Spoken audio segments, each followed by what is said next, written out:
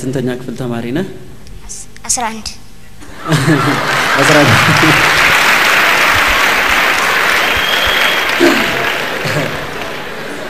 እሺ እድሜው እድሜውን የጠየቅኩት መስሎት ነው። ስንት ዓመት ነው ዳዊት? አስራ አምስት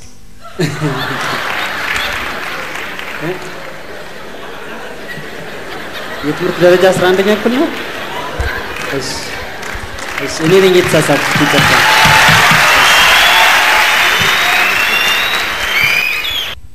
የኔ ቆንጆ የኔ ሸጋ የኔ ቆንጆ የኔ ነሽ ሆይ ልምጣ ልከተልሽ ሆይ መቶ ሰው ቢሰለፍ አንቺን የማይመስል ፍቅር ነው ህመም ነው በይ እስኪ ንገሪ አንቺም ባየሁበት ሌላ ልታያለ። ጠረጠርኩት ልቤን ተነካው መሰለ ተነካው መሰለ በወር በአስራ አምስት ቀን ከሆነ ነገሩ ሳላይሽ አልቀርም የታየኝ ችግሩ ሰውነት የከሳ ልቤም ተጨነቀ ናፍቆቴም አልወጣም ፍቅሬም አላለቀ ፍቅሬም አላለቀ የኔ ቆንጆ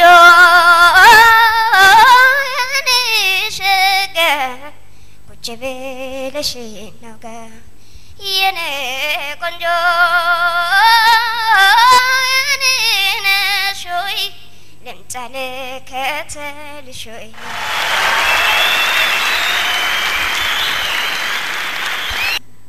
በጣም ከአቅሙ በላይ ደስ የሚል ድምጽ ነው ያለው ብዬ ነው እኔ የማስበው።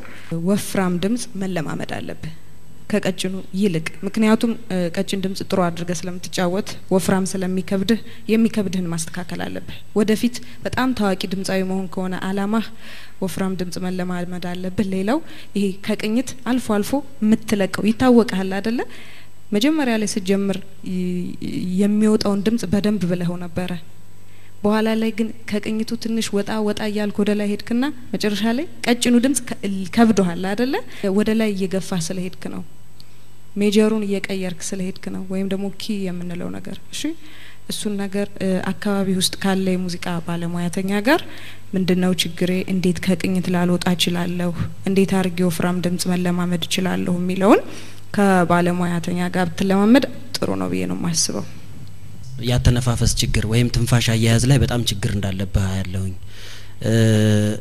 ወደ ዝቅተኛ ድምጾች የሺ እንዳለችህ በጣም የወረዱ ድምጾችን አሳምሮ የመጫወት ችግርም አለ። የላይኛውም ቢሆን ያን ያህል ከጭንቀት የጸዳ አይደለም። ጭንቀት አለበት። የላይኛዎቹ የሀይ ፒች የምንለው ድምጽም እሱም ቢሆን ችግር ያለበት ነው። ኢትዮጵያዊ ጥሩ ቅላጼ፣ ጥሩ አዘፋፈን ሰምቻለሁ ላለሁኝ በኔ በኩል ቆንጆ አሰራር ነው። እነዚህ ነገሮች ግን መስተካከል አለባቸው። በተለይ የትንፋሽ አያያዝህ ረዥም ድምጾች ይዘህ መቆየት አትችልም አሁን ሳይ። ስለዚህ ቁርጥ ቁርጥ እያረክ ነው የምትሄደው። እነዚህን አስተካክለ ከመጣ ለቀጣዩ ጊዜ ጥሩ ተወዳዳሪ ትሆናለህ ብለ ተስፋ እናደርጋለን። የዚህን ዙር ይመጥናል።